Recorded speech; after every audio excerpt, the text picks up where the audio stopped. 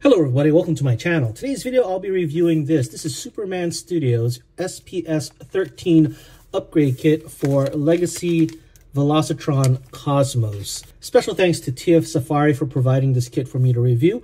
I'll put a link in the description below where you can find this kit along with a coupon code for a discount. So here's the kit in its bag and it just comes in this plain Ziploc bag, or tiny Ziploc bag. There's two bags. You basically have arm fillers and rear of the leg fillers for Cosmos. So Legacy Cosmos has these huge unsightly forearm gaps. Um, they're there because the, the hands go in. And you have a little bit of an unsightly gap here on the back.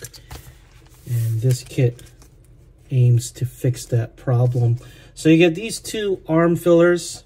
It's uh, 3D printed. You can see it is a resin 3D print because you can still see the support, uh, I guess areas where the support was attached by those little dots there.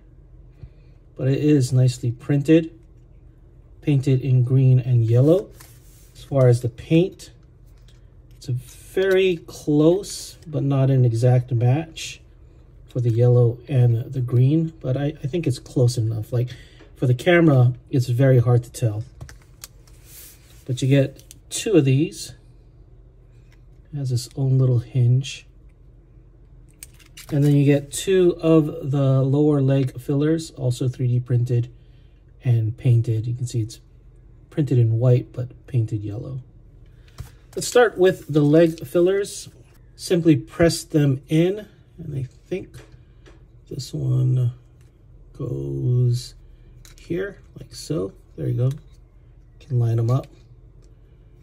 And I think once you put them in, there's no taking them out. So let's push this all the way in. This one is a little bit tight, but there you go. It's a snug fit. I guess you could remove them if you put a little tweezer here and pop them out. Yeah, yeah, you can still remove them. Put something over here to pry them out. But the color matching is really nice. And let's do the other filler. Press that in. Nice and snug. Doesn't fall out. So it really makes at least the back look a lot better. But this is what you really want the kit for. It's to fill these big gaps on the forearms. Um, simply press them into this little slot here, like so. And then it does stick, but you can see the color difference is a little bit different from the paint. And let's do the other side as well.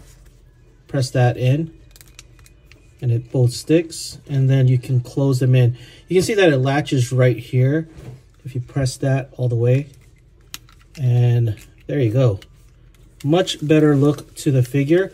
And the nice part is it doesn't stick out too much. Like even though you have this added piece, it's very flat not too noticeable in my opinion, but does wonders for Cosmos look here with the arms because you no longer have that unsightly gap there.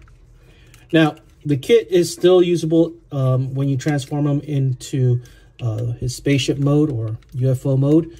You simply open it up here and flip them over and then the hands can go inside. I'm going to do the same thing.